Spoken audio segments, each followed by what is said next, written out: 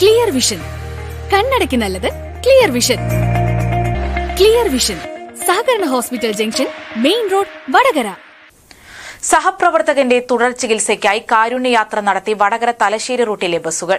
ജോലിക്കിടയിലുണ്ടായ അപകടത്തിൽ പരിക്കേറ്റ P P brothers ബസ്സിലെ കണ്ടക്ടർ പയ്യോളി സ്വദേശിയായ മനൂപ് കുമാറിന്റെ തുടർ ചികിത്സയ്ക്ക് പണം കണ്ടെത്താനായാണ് ഇരുപതോളം ബസ്സുകൾ കാരുണ്യയാത്ര നടത്തിയത്. വടകര തലശ്ശേരി റൂട്ടിൽ സർവീസ് നടത്തുന്ന പി പി ബ്രദേഴ്സ് ബസ്സിലെ കണ്ടക്ടർ പയ്യോളി സ്വദേശിയായ മനോബ് കുമാറിന്റെ തുടർ ചികിത്സയ്ക്ക് പണം സ്വരൂപിക്കുന്നതിനായാണ് ബസ്സുകൾ കാരുണ്യയാത്ര നടത്തിയത്.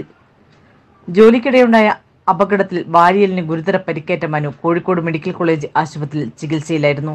ഇപ്പോഴും ചികിത്സ തുടരുകയാണ്. വടകരയിൽ നിന്നും ആരംഭിച്ച കാരുണ്യയാത്രയുടെ flag off Vadakara C I Manoj നിർവഹിച്ചു.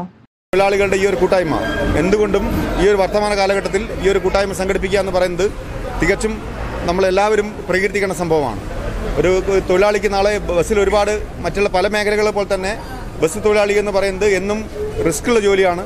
ഒരുപക്ഷെ പോലീസിനെ പോലെ തന്നെ ഏത് സമയത്തും എന്തും അപകടം വരാവുന്നൊരവസ്ഥയാണ് തീർച്ചയായിട്ടും ഒരു ബസ്സിലെ അപകടം പറ്റിയ മനുവിന് ഈ ചികിത്സാ സഹായം സംഘടിപ്പിക്കാൻ വേണ്ടി ഈ ഇരുപതോളം ബസ്സുകൾ ഇന്നത്തെ ഈ ഒരു കൂട്ടായ്മയിൽ പങ്കെടുക്കുകയും അതിൽ നാട്ടുകാരുടെ സഹകരണം ഉണ്ടായിക്കൊണ്ട് അയാൾക്ക് നല്ല രീതിയിലുള്ള ഒരു ചികിത്സാ സഹായം കിട്ട കിട്ടട്ടെ എന്ന് ഞാൻ ഈ ഒരു അവസരത്തിൽ പ്രത്യാശിക്കുകയാണ്.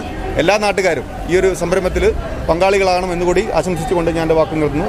ചടങ്ങിൽ bus operators association secretary Gopalan Nambiar president Praseed Babu തുടങ്ങിയവർ പങ്കെടുത്തു.